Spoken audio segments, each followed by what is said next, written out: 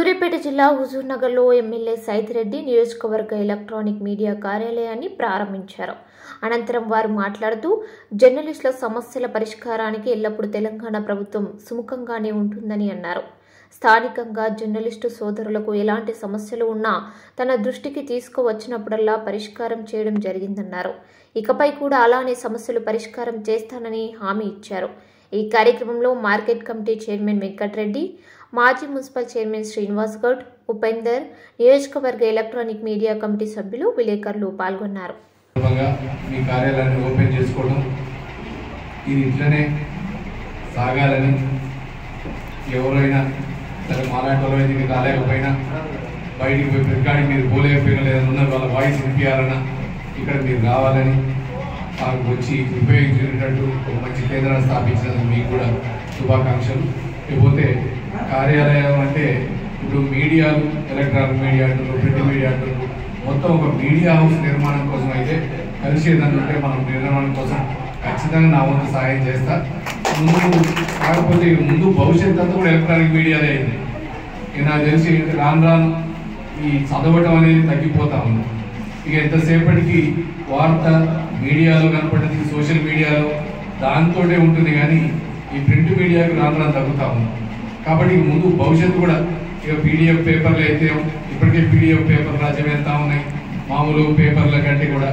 ఇట్లా ప్రతిదీ దగ్గరికి ఇంట్లో కూర్చొని ఇంకా ఏసేది లేదు ఏది లేదు. ఓపెన్ చేస్తే నీకు న్యూస్ దగ్గరనే ఉంటాయి అయితే ఇంకొకటి కూడా చిన్న రకరకాల వాళ్ళు నిర్మించుకునే విధంగా కొన్ని చేస్తూ ఉంటారు. అట్లాంటి వాళ్ళు మాత్రం ఉపేక్షించేది లేదు. ఏ రకమైన చర్యలు తీసుకుంటాం. దాంట్లో అనుమానం పడే అవసరం లేదు.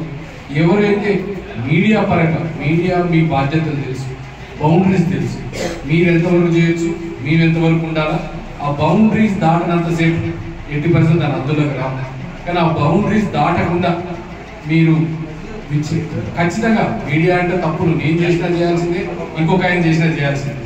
తప్పుల్ని ఎత్తి చూపడమే మీ బాధ్యత.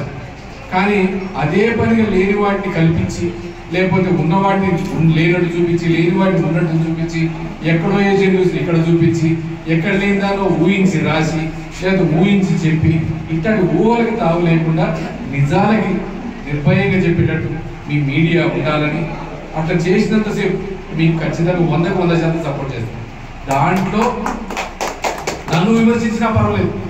ఒకరు నా తప్పు ఉంటే నన్ను కూడా విమర్శించవచ్చు నన్ను కూడా పేపర్లో చూపించవచ్చు కానీ ఇక్కడ ఉన్న నిజాలను మాత్రం దగ్గర పెట్టుకుని ఉన్న నిజాలకి దగ్గరగా మీరు చేయాలని మేము కోరుతా ఉన్నాం. మీకు అన్ని రకాలుగా వైద్య ఖర్చులకైతే నేను చెప్పిన ఎవరు వచ్చినా వాళ్ళకి మన మీడియా వాళ్ళు వాళ్ళ హాస్పిటల్ ఉన్న ఫ్యామిలీలు ఉన్న మీరు ఎల్ఓసీలు కానీ సీఎం రిలీఫ్ ఫండ్ కానీ స్పెషల్స్ పెట్టించి మీరు ఎంతవరకు అయితే అంతవరకు ఈ కార్డు పనిచేయనంత చేయకపోయినా మీరు మాత్రం ఖచ్చితంగా సపోర్ట్ ఎవరు ఏది వచ్చినా ఖచ్చితంగా సపోర్ట్ చేస్తాం.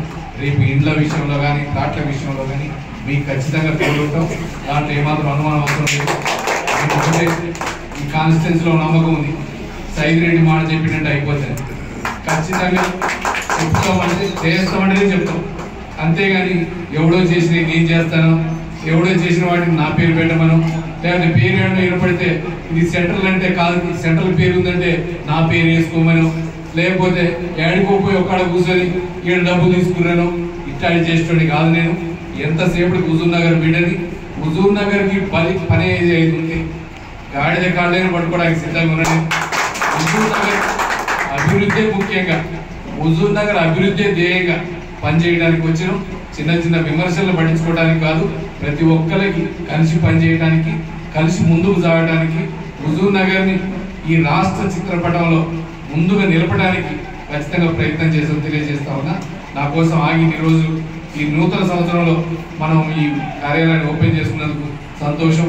ఆహ్వానించిన ఎలక్ట్రానిక్ మీడియా మిత్రులందరూ జై